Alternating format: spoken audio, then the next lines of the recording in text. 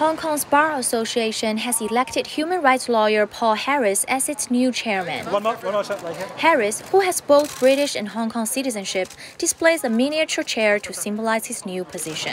I'm a deeply committed rule of law person. That means that on the one hand, I don't like violent demonstrators. On the other hand, I don't like authorities that abuse their power. I will be trying in my term to strengthen the rule of law any way I can. I am particularly concerned about some of the provisions of the national security law, particularly the one that says that certain officials are above the law, that they shan't be challenged in any court. Beijing imposed a harsh national security law on Hong Kong in June of last year. Chinese authorities have used the law to crush dissent in the semi-autonomous city.